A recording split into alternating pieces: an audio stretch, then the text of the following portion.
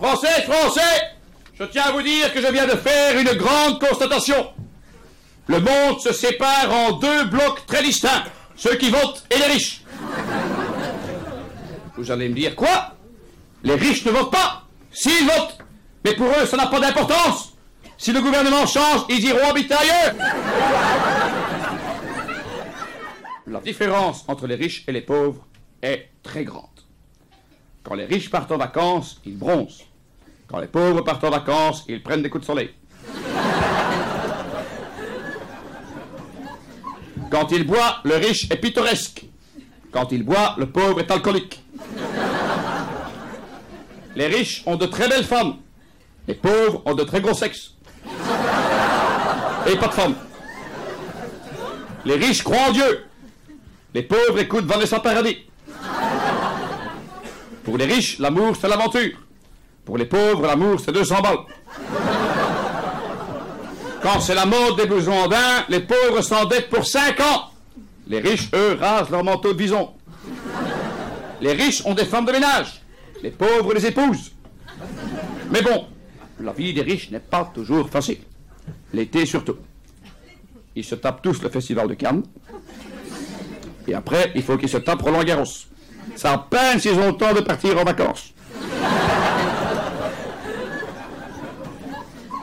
Pauvres, eux, regardent les festivals de Cannes et Roland Garros à la télé. Et en plus, ils gueulent parce que les vacances des riches ne sont pas retransmises à la télé.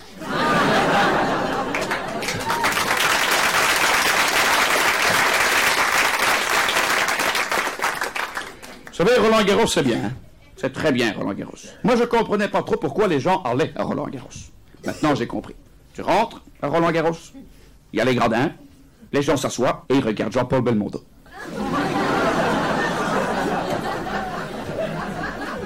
Ensuite, ils bronzent.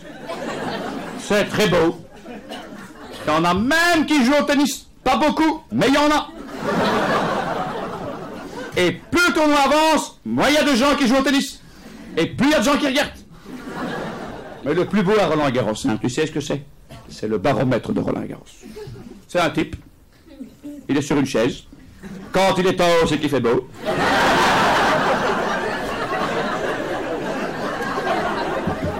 Et quand il descend, c'est qu'il pleut.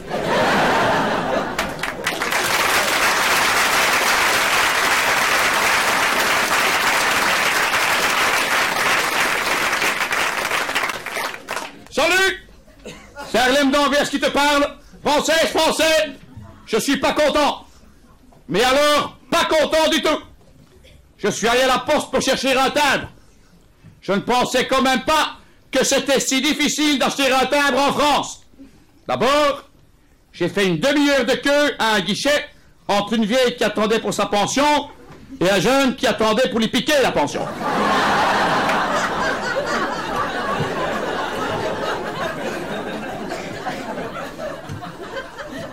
Au bout d'une demi-heure de queue, donc, j'arrive devant le guichet et l'employé me dit très gentiment Vous me faites perdre mon temps, le timbre, c'est à côté.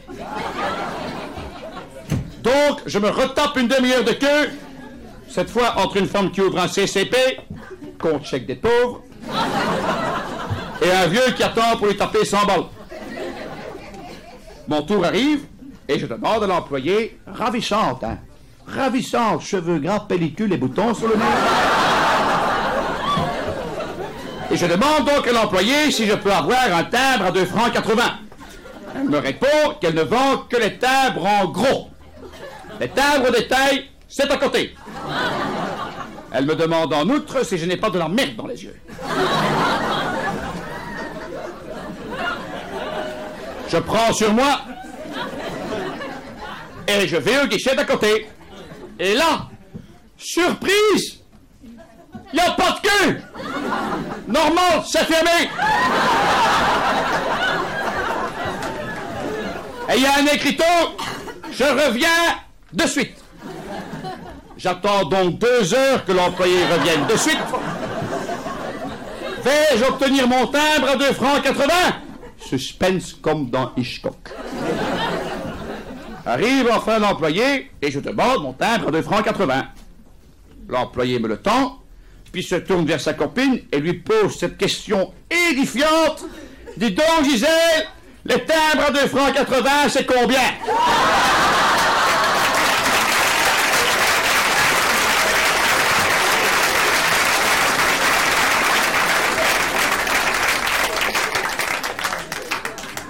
Là, il s'ensuit une longue discussion sur le prix du timbre à 2 francs 80.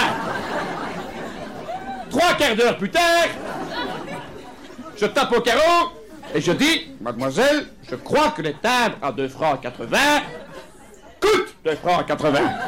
Elle me répond toujours très gentiment, il va pas m'apprendre mon métier, celui-là. Et elle ajoute ce mot sublime que chacun y met du leur et tout le monde y arriveront. Comme je commence à m'énerver légèrement, l'employé me dit d'abord c'est fermé, revenez demain. J'ai donc passé 4 heures à la poste pour acheter un timbre que je n'ai même pas eu. Alors, comme j'ai pas pu écrire, j'ai fait ce que m'a dit le directeur de la poste. C'était pressé, mon gars, t'as qu'à téléphoner.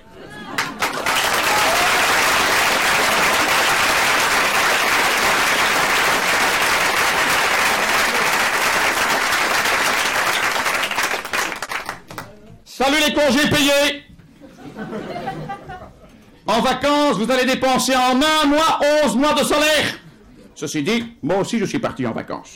Comme chaque année, avec ma femme et mémé. Ça a été l'enfer 1er juillet, 4 heures du matin, je me réveille, je mets le contact et je démarre. Nous avons dormi dans la voiture pour être avant tout le monde. 7 heures du matin, porte l'Italie. On est plus de 2 millions à avoir voulu partir avant les autres. Les autres ne seront qu'une petite dizaine à partir vers midi. 8 heures du matin, on arrive à Corbeil. On prend notre première photo. Le jour qui se lève sous le centre commercial, ça a quelque chose de magique. 9 heures, Palaiso au nord. On a déjà fait 60 km en 5 heures. Je suis content. Je conduis la fenêtre ouverte et j'ai déjà bien bronzé du bras gauche. 10 heures, Palaiso au sud. Il fait 40 degrés dans la voiture. On a ouvert les vitres. Ma femme est contente. Elle bronze du bras droit. 11 heures. La grand-mère n'en peut plus. On est obligé de l'abandonner sur les bords de la route. Pour pas qu'elle s'ennuie, on lui laisse un paquet de biscuits et la fiche technique de la voiture. On la reprendra quand on passe. Midi, Montargis, 120 km en 8 heures. Et premier incident, on a oublié la caravane.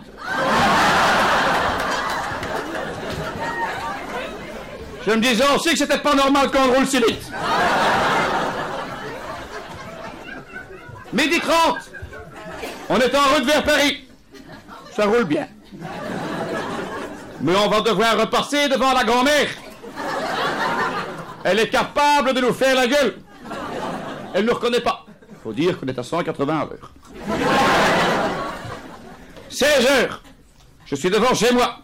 12 heures de route et je me retrouve devant mon immeuble. Je sonne la concierge. Charlène d'Anvers, ouvrez.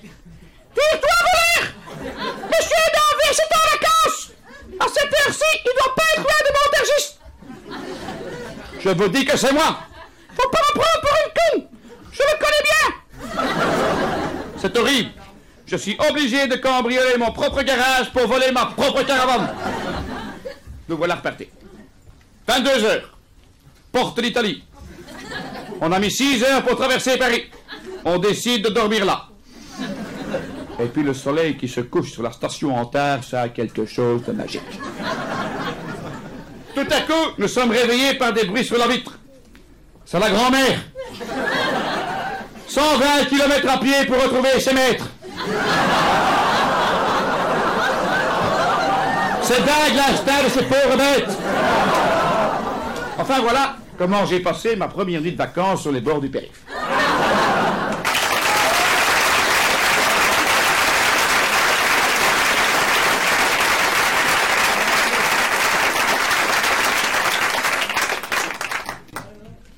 Semaine plus tard, nous arrivons quand même sur notre lieu de vacances, car à force de prendre des itinéraires bis, on a fini dans des chemins forestiers. Mais nous sommes quand même arrivés au camping qu'avec quatre jours de retard. Quatre seulement. Pourtant, ils avaient déjà loué notre emplacement au Gypsy King. Ils ont réussi à faire tenir 20 caravanes dans 15 mètres carrés. Heureusement qu'on connaît bien le patron du camping. Nous a loué les solitaires. Après notre installation, direction la plage. Il fait une chaleur sur les plages. C'était incroyable. Tout le monde se baigne. Les jeunes, les vieux, même les poubelles se baignent. Alors, j'ai fait un peu de plongée sous-marine. C'est nul. D'abord, on te donne des bouteilles où il n'y a rien dedans. Et en plus, t'as intérêt à ramener la consigne, hein, parce que c'est rudement cher. Et puis sous l'eau, il n'y a rien à voir. Rien. Les poissons sont tout petits. Et ils bougent tout le temps. C'est un beau temps chez le poissonnier. Les poissons sont plus gros et au moins là, tu peux prendre des photos. Finalement, on a quitté la plage. Mémé voulait faire du nudisme. On s'est tous déshabillés. Sauf moi. Mais j'ai quand même gardé ma baguette ouverte pour pas casser l'ambiance.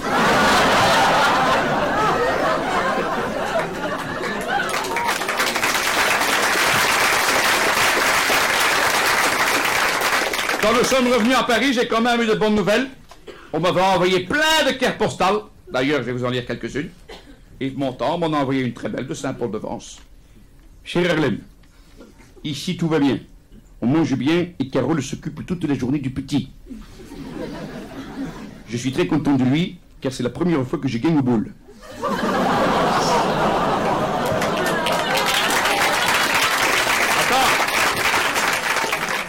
Le président m'en a envoyé une aussi. Cher Harlem d'Anvers, je suis crevé.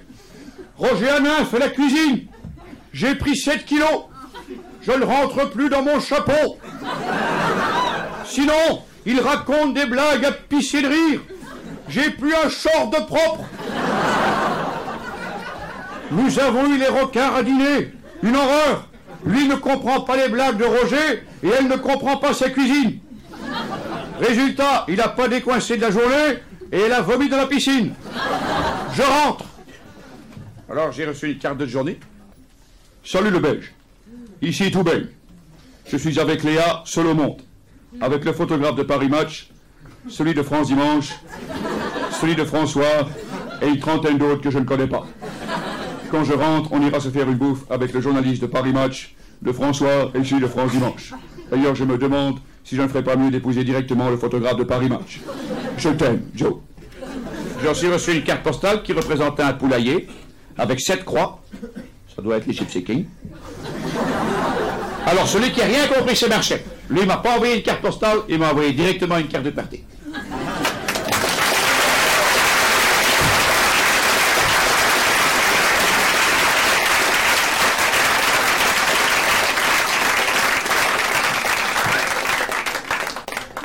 Aujourd'hui, mes amis, je voudrais vous parler de la sécurité sociale.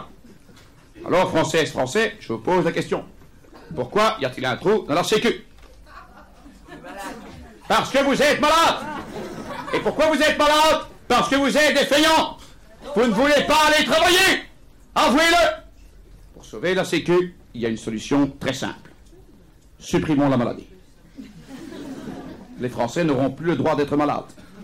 Ou alors, pas des maladies graves. Ceux qui seront quand même hospitalisés, nous leur donnerons des travaux à faire à l'hôpital. Ceci dit, je suis allé à l'hôpital.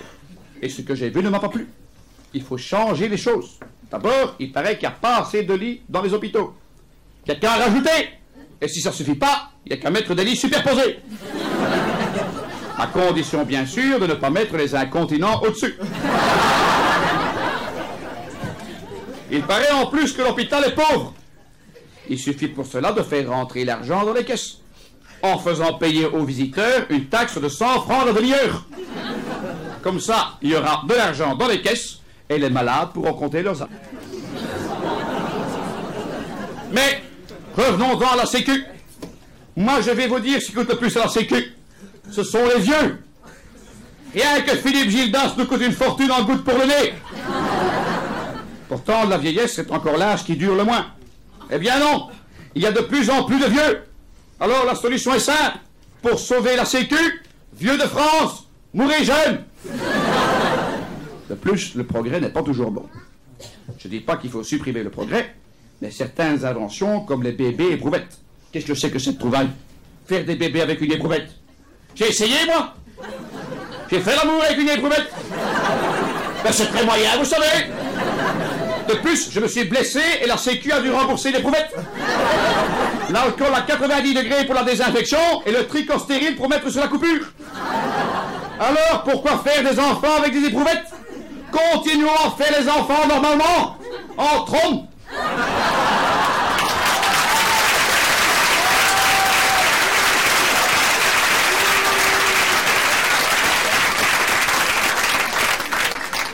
Bonsoir. Tel que vous me voyez là devant vous, je ne suis plus historien. Je suis ministre. Alors pourquoi m'ont-ils nommé ministre? Pensez Et de quoi est-ce que je suis ministre? Eh bien, je suis ministre de la francophonie. Alors, à quoi ça sert la francophonie? Pensez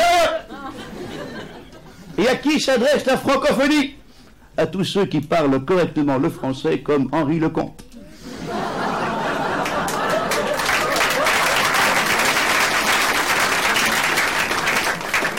Prenez par exemple les Africains. C'est fou ce que ces gens s'expriment mal. C'est normal.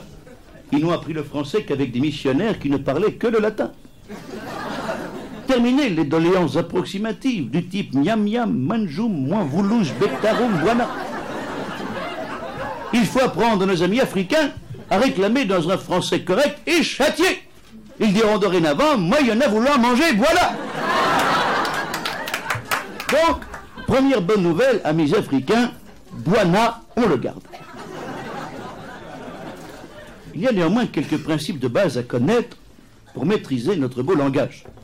Il faut savoir par exemple que les mots commençant par la lettre CH ne se prononcent pas tous CH. Exemple, chorégraphe. La lettre CHO se prononce CO. Par contre, on ne dit pas du cocola. Pourquoi? J'en sais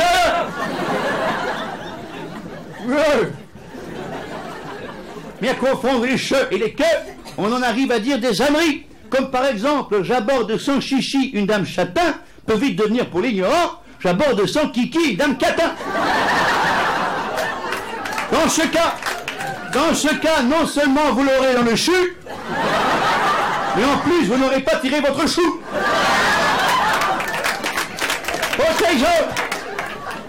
Les pluriels Ouais, les pluriels Tout le monde sait que les mots en O font leur pluriel en I. Un scénario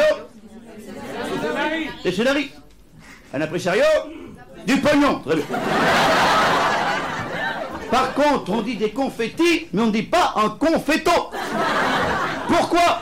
Oh, sérieux Sûrement à cause de la subtilité de la langue française qui veut qu'un confetto soit également le synonyme de prématuré. Mais oui Mais oui Mais oui C'est logique Le pluriel de prématuré, c'est pas des confettis et si on y regarde de plus près, on s'aperçoit que si un confetto était le singulier de confetti, cela pourrait créer la confusion dans les esprits simples. Et nous arriverions à des situations absurdes, comme par exemple, il m'a lancé une poignée de confetti à la tête et il me reste un prématuré sur la casquette.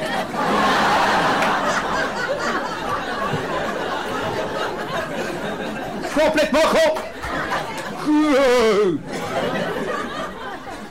Si vous n'êtes pas encore convaincu, Regardez cet exemple. Les enfants adorent les guili-guili.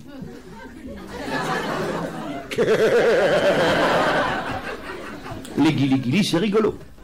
Mais un golo-golo, c'est pas rigili. Comme vous le voyez, la langue française est rudement bien foutue. Et c'est mon travail de la défendre.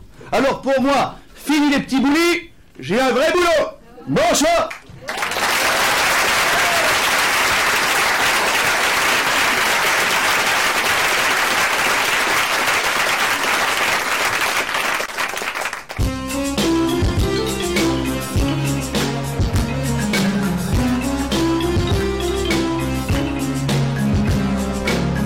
Je suis né à Jarnac, dans les Charentes. Ma vie n'a pas toujours été marrante. Ah Pour être président, j'ai dû serrer les dents. J'ai dû sur mon chemin en écraser plus d'un. Aujourd'hui c'est gagné, hein, je me condole. Françaises et Français, je suis votre idole. Malgré les pots de banane, vous êtes tous mes fans. Je suis votre gourou, je suis le grand Manito Toto. c'est moi tout temps, Je suis le nouveau pharaon de la France, le guide, et j'ai ma pyramide. Tout c'est moi tout temps, Le grand, le bon, tout temps, Tonton, oh Deuxième couplet oh J'ai chassé le Giscard, j'ai pris sa place, j'ai vaincu le Chirac et son audace. J'ai battu le baba, étouffé mon regard. Je suis un gros matou, je suis le plus fort, c'est tout au dans c'est moi tout dans je suis le nouveau pharaon de la France, le guide, et j'ai ma pyramide. Tout en c'est moi tout en. Le grand, le bon, tout en le peuple chante avec moi. Oh, oh.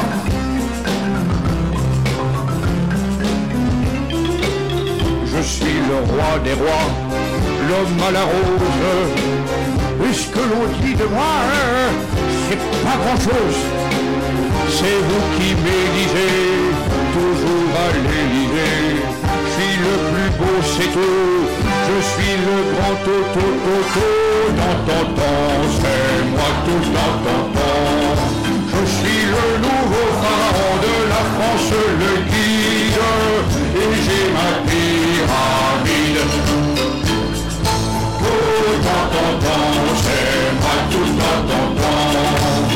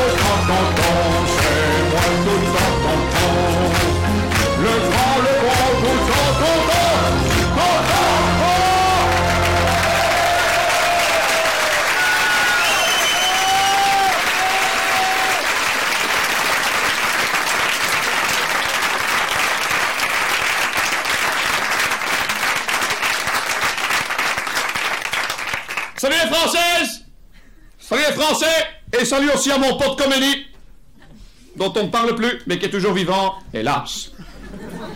Cette semaine, j'ai pas envie d'être drôle. Roger Hanin m'a piqué ma bagnole pendant que j'étais au resto. Je vous sens perplexe. Je m'explique. Vous ne le savez peut-être pas, mais Roger Hanin est le propriétaire de trois fourrières à Paris. Remarquez qu'on aurait pu s'en douter, hein. C'est pas avec le cinéma qui gagne sa vie, hein. Donc, j'étais au restaurant avec ma femme et on aurait passé une bonne soirée. Deux menus à 58 francs 50. Pas cher.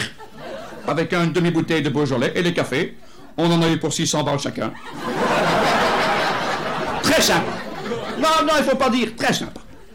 Restaurant turquin, nouvelle cuisine. C'est-à-dire que la cuisine n'est pas encore finie. Et qu'il y a des bouts de plâtre dans les assiettes. Enfin. Mais sympa, pas cher. Vers 11h du soir, on quitte le resto pour aller se faire déplâtrer l'estomac. Paf Plus de voiture C'est une Fiat 500 que j'ai comme voiture. Vous voyez, hein Les pots de yaourt qu'on appelle. C'est le genre de voiture, quand tu mets la ceinture de sécurité, ça fait sac à.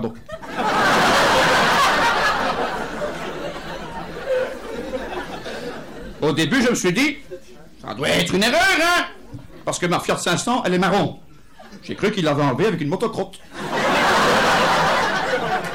C'est normal, hein, petite marron avec un seul fer.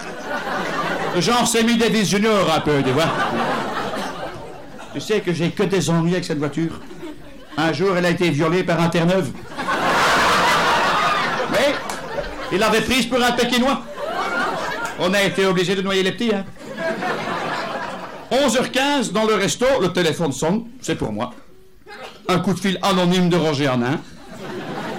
Il me dit Écoute-moi, fils, on a de ta voiture. Si tu veux la revoir vivante, tu verses 600 francs la fourrière, sinon on la fait violer par un Terre-Neuve. Et il raccroche.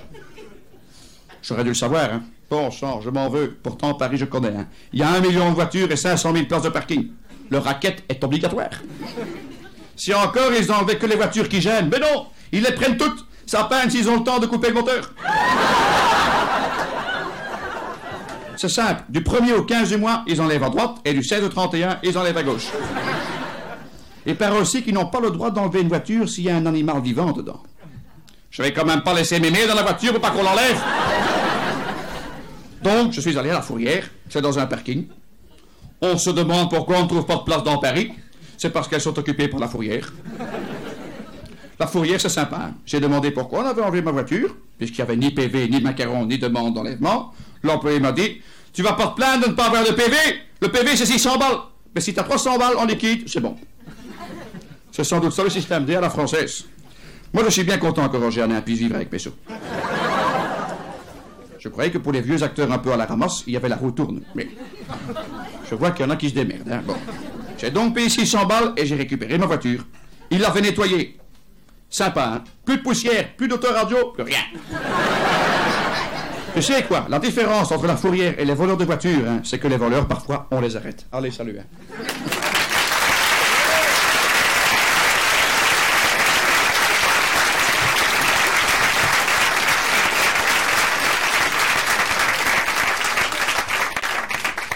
Salut les Françaises Salut les Français Et salut aussi aux musulmans que si je les oublie, mes jours sont comptés. Je dis bien sûr aussi bonjour à tous les chrétiens et à toutes les chrétiennes au cas où. Cette semaine, j'ai essayé d'aller voir le film de Scorsese, La dernière tentation du Christ. C'était lundi. Il était 13 heures. Je dis à ma femme, j'ai envie. J'ai pas le temps de finir ma phrase qu'elle me répond, j'ai la migraine. Je finis ma phrase, j'ai envie d'aller au cinéma. Elle me répond, ça va mieux, on y va. 13h05, ma femme se fait belle pour sortir. 19h30, elle est prête.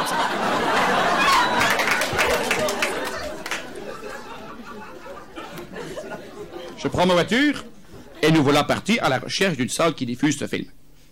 C'est facile à reconnaître, hein. C'est le cinéma où il y a une queue qui rentre jamais. Ma femme me dit ça me rappelle quelqu'un.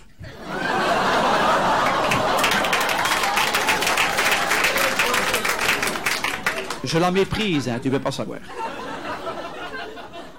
Je continue ma route et je tombe tout à coup sur des trucs, tu vois ces machins là pour garer les vélos. Pas du tout. C'était les excités de comédie qui faisaient des prières les fesses en l'air. J'avais l'air fin, tiens.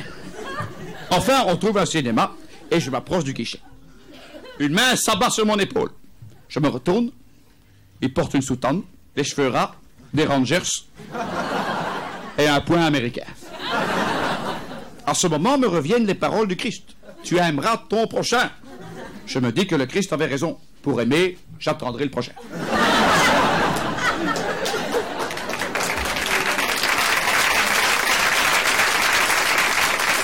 Et, et tout d'un coup, ce type me regarde et il me dit N'entre pas ici C'est un cinéma de 100 ans Je lui réponds Faux C'est un cinéma de quartier Là-dessus, un autre type arrive avec une aussi et un fusil de chasse. Il m'interpelle Si tu rentres ici, tu n'iras pas au paradis. Je lui réponds Je suis pas idiot. Si je rentre ici, j'irai pas au paradis, j'irai au cinéma. Ma femme me dit Arrête de faire le con, on va se faire crucifier ici. Je chante deux cantiques pour les amadoués. Je prends le billet et on rentre. Le film commence. Tout à coup, le film s'arrête. On entend des hurlements. Les Hells Angels de Saint-Nicolas du Chardonnay sont en train de torturer les projectionnistes. Ils lui font bouffer la pellicule. Trois mois de punk, la tonsure peinte en vert, font irruption dans le cinéma. Et ils jettent dix bombes lacrymogènes dans la salle en hurlant Aimez-vous les uns les autres ou je vous casse la gueule?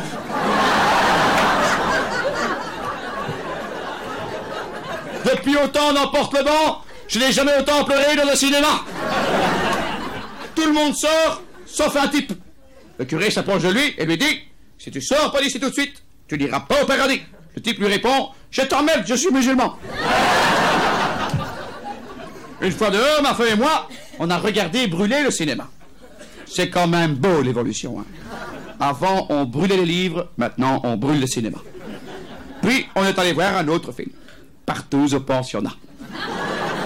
Eh bien là, on n'a pas été empêché de rentrer par les chrétiens. Parce qu'ils étaient tous à l'intérieur.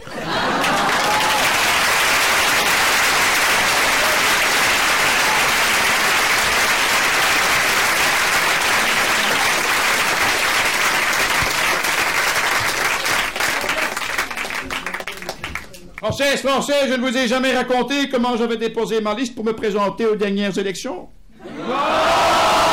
Ça a été terrible. C'était un samedi soir. Il fallait la déposer avant minuit. 10h29, je me tâte. Finalement, à 10h30, je me décide.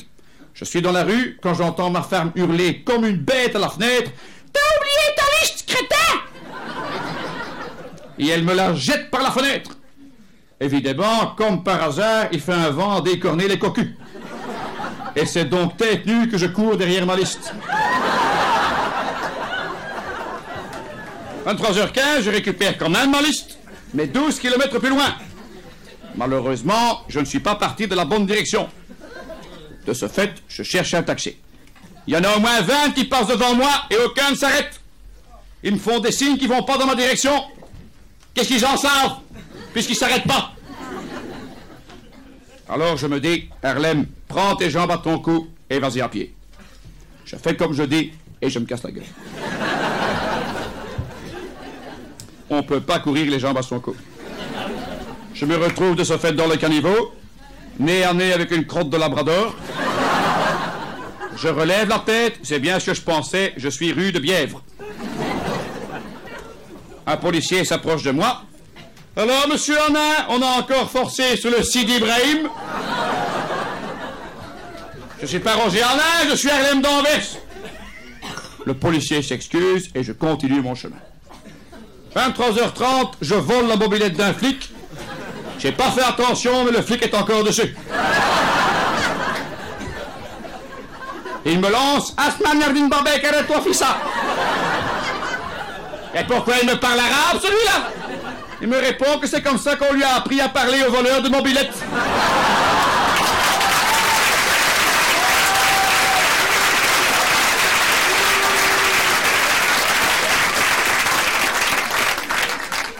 Je lui dis que je suis Harlem d'Anvers et il me propose de me déposer quelque part. Et nous voilà partis. Lui devant, moi derrière, les pieds dans les sacoches. Pour aller plus vite, il a mis un gyrophare sur son casque. Et moi, je pousse des cris stridents pour faire la sirène. Pourvu que je ne croise pas Gildas. Enfin, nous arrivons devant le Conseil constitutionnel. Je saute en marche et j'arrache les sacoches. J'entre et je monte 4 à 4 les marches comme Chaban des Masses. Les 23h55 et le guichet va fermer. Je me précipite et je me fais arrêter pour le planton, à qui je dois expliquer que je viens déposer ma liste pour les élections. Il me dit C'est au fond à droite, mais essuyez-vous les sacoches avant d'entrer. Il est 23h59 et je dépose ma liste sur le comptoir. Un type la prend, la lit et me la rend. Mais qu'est-ce qui se passe, je dis? Elle me dit rien. Comment c'est rien? Ben rien. Mais je ne vois pas pourquoi j'inscrirais une laitue, de poireaux et une banane dans le 5e arrondissement.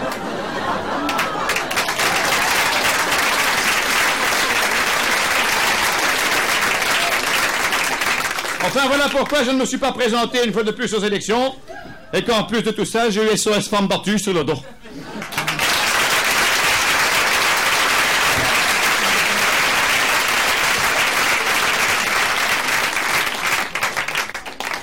Françaises et Français qui avaient réveillonné comme chaque année, je vous dis que pour moi, le réveillon, ça a été une galère.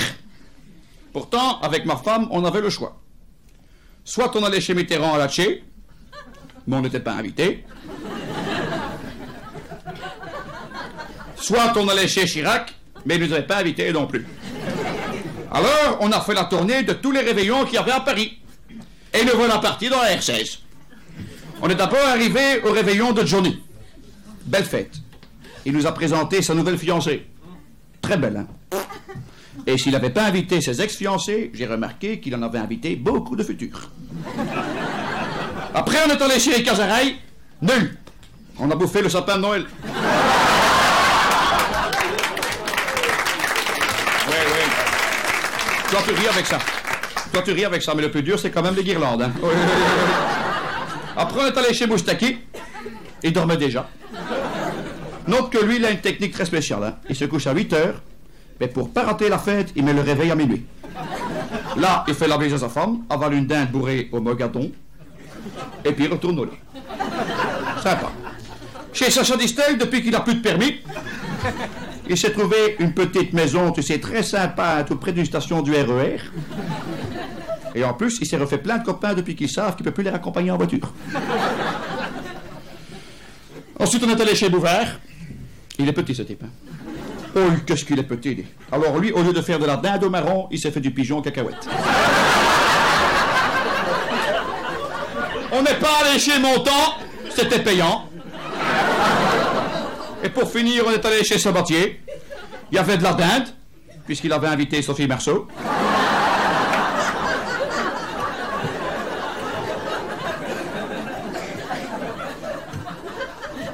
Elle est dans la vie comme dans ses films. hein. Tu lui dis bonjour, elle se déshabille. Il y avait du gratin. Claude Sarraute revenait d'une séance d'UV. Il y avait même des cerises à l'eau de vie quand Gainsbourg s'est assis de la bassine de Sangria.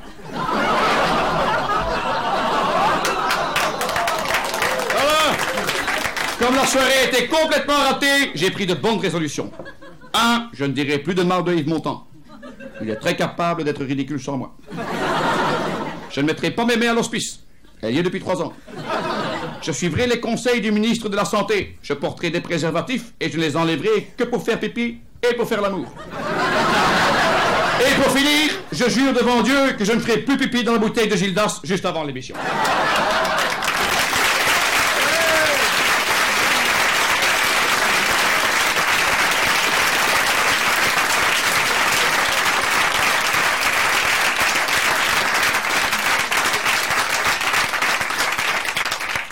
J'ai l'honneur de recevoir pour un débat exceptionnel messieurs Mitterrand et Chirac. Euh, euh, oui, c'est moi. euh, en avant toute poute de mammouth. Monsieur Mitterrand, comme euh, ni vous ni Monsieur Chirac, Oui. vous ne répondez jamais aux questions politiques, je vous poserai des questions du trivial poursuite. Première question tout de suite à Monsieur Mitterrand. Géographie. Très bien. Quelle est l'adresse de l'Élysée? En France? Bien sûr, mais je vous demande l'adresse exacte. C'est-à-dire, euh, je sais y aller, hein, mais vous dire où c'est exactement. euh, ah. En fait, vous m'auriez demandé l'adresse de la rue de Bièvre. J'aurais pu vous répondre, c'est dans ma rue. Il est perdu, il est perdu. à moi, à moi, Gildas. Monsieur Chirac, Euh, science et nature, Euh. que mesure le baromètre? Le baromètre, ça mesure la température. Non, c'est le thermomètre.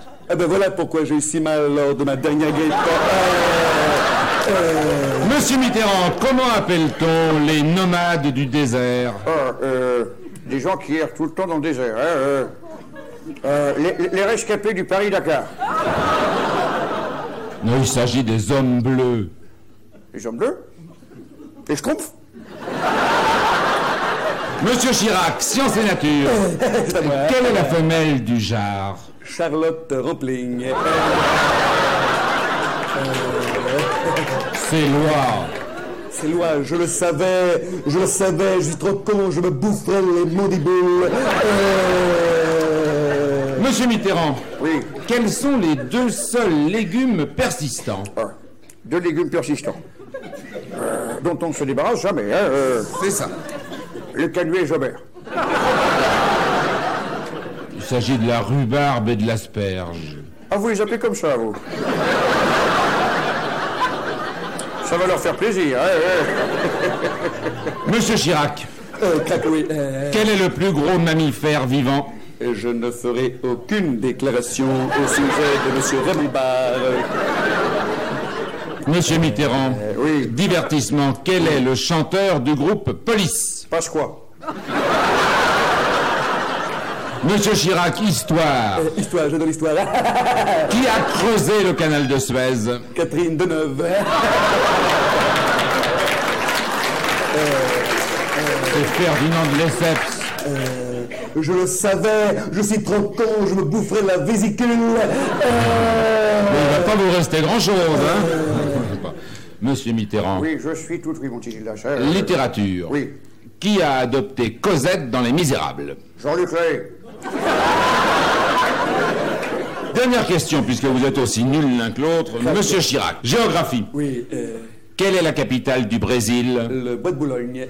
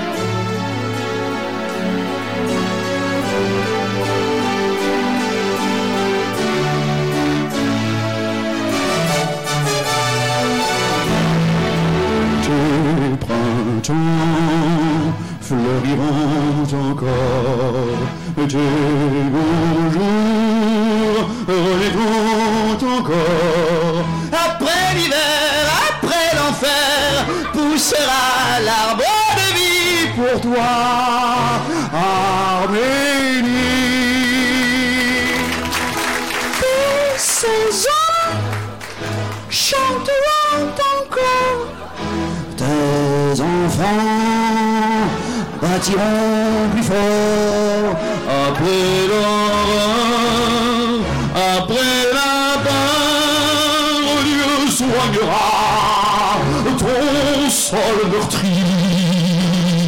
Pour toi, Arménie, le monde est le monde est avec toi, pour toi pourrir l'amour,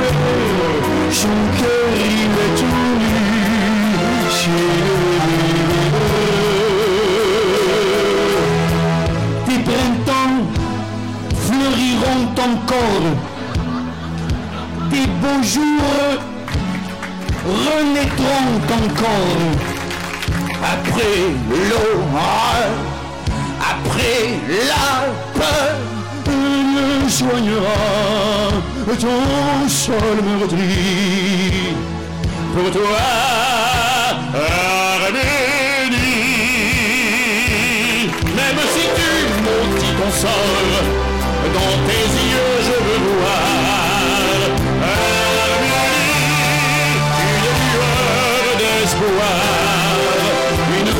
envie de prendre ton destin entre tes mains, à bras le corps.